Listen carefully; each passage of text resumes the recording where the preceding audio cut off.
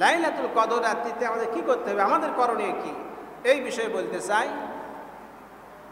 আর এই লাইলাতুল কদর রাত্রিটি হাদিসে এসেছে যে বিশ্বনবী জনাবি মোহাম্মদ রসুল্লাহ সবাই পান সাল্লাল্লাহু আলাইহি সাল্লাম তিনি বলেছেন তাহার রাও লাইলাতুল কদরে ফিল বেতে মিনাল আশিল আখিরি রমদানা।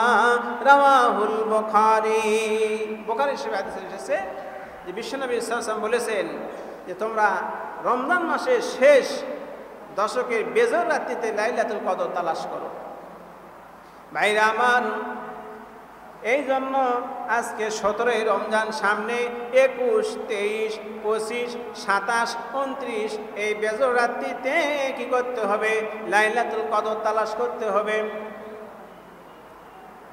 এই রাত্রিগুলিতে তালাশ করতে হবে। হাদিস এসেছে আমার আপনার নবী, বিশ্ব নবী জনাব মোহাম্মদ রসুল্লাহ সোহাইবান সাল্লাহ আলাই সাল্লাম। রমজান মাসের শেষ দশকে তিনি লুঙ্গি, মাজাই শক্ত করে বাঁধতেন, কোমরে বাঁধতেন। লুঙ্গি কি করতেন? শক্ত করে বাঁধতেন। আর আহলাহু আইকাজাহু আহলাহু নিজের পরিবার প্রয়োজনকে রাত্রিতে জাগায় দিতেন বলেন সোহানাল্লাহ সারা রাত এবাদত বন্দিগি দিয়ে নবীজি কাটিয়ে দিতেন। ভাইরা আমার, তাই আমি বলতেছিলাম যে লাইলাতুল কদর রাত কোনটি নির্দিষ্ট করে বলা হয় নাই? এই জন্য যাতে করে আল্লাহ বলেন, আমার বান্দারা যেন আমাকে তালাশ, আমাকে অর্থাৎ এই রাত্রিটি খোঁজে, অর্থাৎ বেশি বেশি ইবাদত করে। বলেন সুহান আল্লাহ নবীজি বলেছেন নাই রাত্রিটি, লাইলাতুল কদর রাত্রিটি আমাকে স্বপ্নে দেখানো হয়েছিল, কিন্তু আমি ভুলে গেছি। যার কারণে এখন তোমরা কি করো? বেজর রাত্রিতে তালাশ করো বলেন সোহান তাহলে লাইলাতুল কদর রাত্রি, এটা শুধু হাজার রাত্রি নয়, মিলিয়ন, বিলিয়ন ডিলিয়ন অক্টিলিয়ন যত সংখ্যা আছে, তার থেকে বেশি মর্যাদার অধিকারী রাখে, অধিকার রাখে বলেন সোহান প্রথম করণীয় হলো লাইলাতুল কদর রাত্রিতে আমরা কি করব? প্রথমে কোরআন অধ্যয়ন করব। কি করব? কোরআন অধ্যয়ন করব। কোরআন বুঝে পড়তে হবে। এই কোরআন যদি আমরা ধরতে পারি আঁকড়ে ধরতে পারি, এই কোরআন ব্যক্তিকে কি করবে? সম্মানিত করবে। কোন সমাজ যদি কোরআনকে আঁকড়ে ধরতে পারে, সমাজকে কোরআন আলোকিত করবে। কোন দেশবাসী যদি কোরআনকে আঁকড়ে ধরে, কোরআনে আইন ফলো করে চলে, কোরআনে আইন মেনে চলে, তাহলে সেই দেশ আল্লাহর কাছে মর্যাদাবান হবে বলেন সোহান আল্লাহ আল্লাহর রহমত, বরকত, করুণা পাওয়া যাবে। আল্লাহ পাক তাই বলেন এই সম্পর্কে যদি তোমরা কোরআন ধরো আমাকে ভয় করে চলার নীতি অবলম্বন করো তাহলে তোমাদের কি অবস্থা হবে শোনো সুরাই আরাব কোন সুরা সুরা আরাবে আল্লাহ বলেন ولو أن أهل القرى آمنوا واتقوا لفتحنا عليهم بركات من السماء والأرض الله أكبر আল্লাহ রাব্বুল আমিন বলেন যদি কোনো জনপদের লোকেরা, দেশের লোকেরা দুইটা নীতি অবলম্বন করে কয়টা? দুই নীতি এক, আমার প্রতি ইমান আনে। আর দুই নম্বর হলো, জীবনের সকল ক্ষেত্রে আমাকে ভয় করে চলে। তাহলে আমি আল্লাহ আব্রামিন আকাশের রহমতের দরজা খুলে দিব, জমিনের বরকতের দরজা খুলে দিব বলেন সোহান যদি আল্লাহকে যদি ভয় করতে চাই, তাহলে কোরআন বুঝে পড়তে হবে। কি করতে হবে? কোরআন বুঝে পড়তে হবে। শুধু দেখে দেখে রিডিং পড়া নয়। আপনি রিডিং পড়লে আলিফ, লাম, মিম তিরিশটা নেকি পাবেন সব পাবেন। কিন্তু এই তিনটা অক্ষর যদি বুঝে পড়েন, হাজার হাজার তার থেকেও বেশি সোয়াব আল্লাহ পাক আপনাকে দান করবেন বলেন সোহান আল্লাহ এই জন্য লাইলাতুল কদর রাত্রিতে কোরআন অধ্যয়ন করতে হবে, কোরআন বুঝে পড়তে হবে বলেন সোহান আল্লাহ আর যে আয়াতগুলি আপনার মুখস্থ ছিল মুখস্থ ছিল ভুলে গেছেন, এই লাইলাতুল কদর রাত্রিতে মুখস্থ করার চেষ্টা করেন, বলেন সোহানাল্লাহ এক। দুই নম্বর হলো, লাইলাতুল কদর রাত্রিতে আপনি নফল নামাজ বেশি বেশি পড়বেন। কি নামাজ? নফল নামাজ কমপক্ষে আট রাকাত দুই রাগাত দুই রাগাত করে আমি লাইলাতুল কদরের দুই রাগাত নফল নাচ পড়তেছি আল্লাহ আকবার। সুরা ফাতেহা যে সুরা আপনার মুখস্থ আছে, সেই সুরা দিয়ে পড়বেন, বলেন সুহান বাজারে কিছু বই আছে, সেই বইগুলোতে বলা আছে যে, লাইলাতুল কদর রাত্রিতে নফল নাচ পড়ার সময় লাইলাতুল কদর সুরাটা তেত্রিশ বার পড়বে, সুরা একলা তেত্রিশ বার পড়বে না। ভারতের বিখ্যাত আলেম মৌলানা আশরাফ আলীর থানবী রহমতুল্লা আলাই এবং মৌলানা ইউসুফ ইসলাহি রহমতুল্লা আলাই এই নামাজের ক্ষেত্রে এই সুরে কদর তেত্রিশ বার পড়া, সুরা ক্লাস তেত্রিশ বার পড়া কোনো গুরুত্ব দেন না। এইগুলি করতে গেলে আপনার রাখাত কয় রাখা ঠিক রাখতে পারবেন না। এই জন্য সহজ পদ্ধতি হলো যে যেই সুরে আপনি জানেন ছোট হোক বা বড় হোক, সেটা দিয়ে আপনি দুই রাখাত দুই রাখাত করে লাইলাতুল কদরের নামাজ পড়বেন বেজরাত্রিতে ভাইরা, আমার নফল নামাজ পড়বেন এরপর সালাতুল তৌবা সালাতুল হাজত সালাতুল তাজবি, এই নামাজ পড়বেন। আর তাহাজ্জুদের নামাজ ছাড়বেন না ইফতার সেরি আগে পড়ে নেবেন বলেন, সুবহানাল্লাহ। আল্লাহ আল্লাহ পাক রাসূলকে তাহাজ্জুদের নামাজ পড়ার নির্দেশ দিয়েছেন, ফাতাহাজ্জাদ বিহি নাফিলাতাল লাকা আসা আইয়াবআসাকা রাব্বুকা মাকামান মাহমুদা।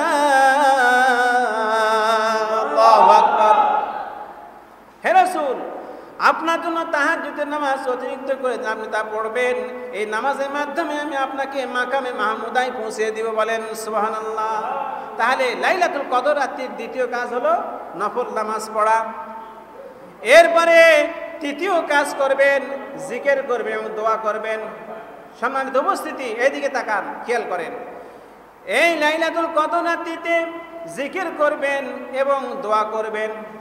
জিকের ব্যাপারে অনেক আয়াত রয়েছে, হাদিস রয়েছে, সময় কম, যার কারণে আমি এগুলি বলতে পারলাম না। জিকের আফজালু জিকরে, লা ইলাহা ইল্লাল্লাহ, লা ইলাহা ইল্লাল্লাহ, লা ইলাহা ইল্লাল্লাহ এই জিকির বেশি বেশি করবেন। এরপরে জিকের হাদিসে এসেছে, সুবহানাল্লাহ আলহামদুলিল্লাহ ওয়া লা ইলাহা ইল্লাল্লাহু, আল্লাহু আকবার। এটা জিকির, উত্তম জিকির। এই জিকিরগুলো আপনারা বেশি বেশি এই কদরাত্রিতে করবেন আর আল্লাহর কাছে দোয়া করবেন। জিগের এবং দোয়া। দোয়াটা করতে হবে, অতীতের ভুল ভ্রান্তির কথা স্মরণ করে আল্লাহর কাছে চাইবেন। যদি কোনো বান্দা দোয়া না করে, আল্লাহ সে বান্দার প্রতি অসন্তুষ্ট হন। বান্দার প্রতি কি হন? অসন্তুষ্ট হন। দোয়া করলে আল্লাহ খুশি হন। হাদিসে এসেছে দোয়াও মাখুল এবাদা দোয়া হচ্ছে এবাদাতে সার বলেন সোহান আল্লাহ আর দোয়াও সেলাহুল মমিনের মমিন। আল্লাহ নবী বলছেন, দোয়া হচ্ছে মমিনদের হাতিয়ার বলেন সোহান আল্লাহ ডোন, ক্ষেপণাস্ত্র, মিসাইল, অ্যাটম বোমা, সবগুলি লক্ষ্যস্থল মিস করতে পারে, কিন্তু দোয়া কখনো মিস হবে না বলেন সোহান আল্লাহ এই দোয়াটা যদি সেন্সিয়াস হয়, আন্তরিকতার সাথে হয়, চোখের পানি ফেলে যে আমি আপনি করতে পারি, মনের আবেগ নিয়ে চোখের পানি ফেলে আল্লাহ কাছে দোয়া করতে হবে। কবি বলেন কবি বলেন, কাঁদলে শিশু মা চলে যায়, কাঁদলে শিশু মা চলে যায়, রান্না বান্না ফেলে। বান্দা খোদাকে ঠিকই পাবে সামার মতো চেলে। কাঁদলে শিশু, মা চলে যায়, রান্না বান্না ফেলে। বান্দা খোদাকে ঠিকই পাবে চাওয়ার মতো চেলে। বলেন সোহান আল্লাহ সেই রকম চাইতে হবে। আল্লাহ কাছে দোয়া করতে হবে। আল্লাহ বলেন, ওয়াইজা সালাকা ইবাদি আন্নি, ফাইন্নি কারীব আল্লাহু আকবার। হে নবী, বান্দার আমার সম্পর্কে আপনাকে জিজ্ঞাসা করে, তোমার রব কোথায়, আল্লাহ কোথায়?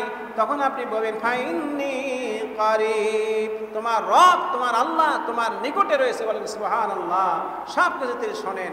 ভাইরা ভাই, দোয়া করবেন, এটা তৃতীয় কাজ, লাইলাতুল কদর রাত্রিতে।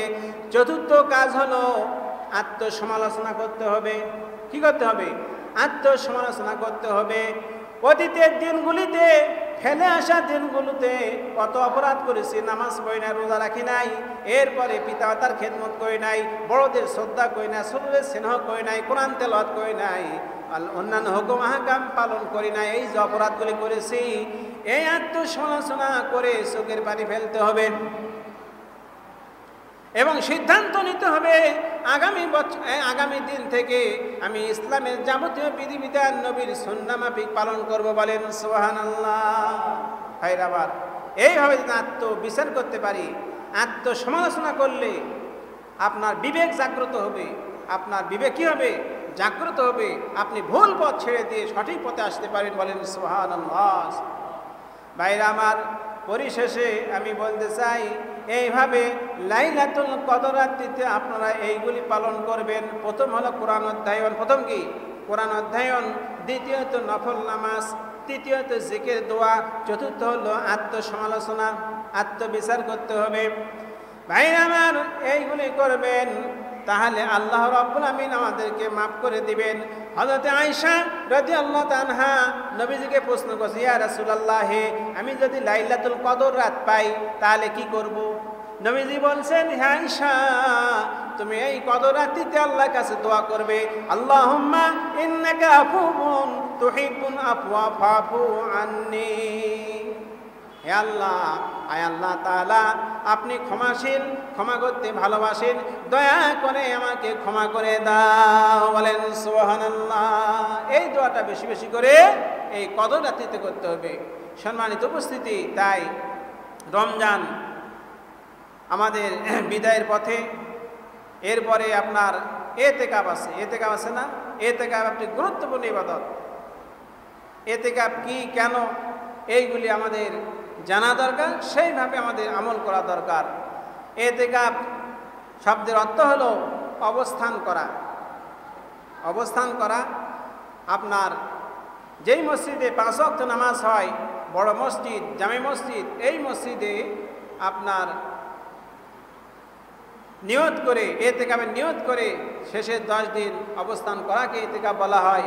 এই এতেকাবের উদ্দেশ্য হচ্ছে আল্লাহ নৈকট্য লাভ করা। আল্লাহ এতে উদ্দেশ্য কি? আল্লাহ নৈকট্য লাভ করা। সম্মানিত উপস্থিতি, সময় শেষ। তাই আপনারা এতেকাপ করার চেষ্টা করবেন। এতেকাপের মাধ্যমে আল্লাহবাক যদি কেউ কোনো ব্যক্তি এতেকাপ করেন, তাহলে হাদিসে এসেছে, তিন খন্দক পরিমাণ দূরত্বে জাহান্নাম থেকে তাকে দূরে রাখবে আল্লাহ রাব্বাই বলেন সুহান আল্লাহ এক খন্দক হলো আসমান থেকে জমিন। এই যে দূরত্ব, এরকম তিনটা দূরত্ব থেকে জাহান্নাম থেকে তাকে বেঁচে রাখবেন। তা আমি বলতে চাই যে আমি আলোচনা করলাম, ভুল ভুলভ্রান্তি হয়ে গেলে মাফ করে দিবেন। যা আলোচনা করছি সর্বত আল্লাহ পাক আমাকে আমলকা তৌফিক দান করেন এবং আপনাদেরকে আমলকা তৌফিক দান করেন। এই বলে আমার কথা শেষ করছি। ওয়াকে দাওয়ানা আনিল আলহামদুলিল্লাহ রবিল আলমিন। আসসালামু আলাইকুম রহমতুল্লাহি আবরকাত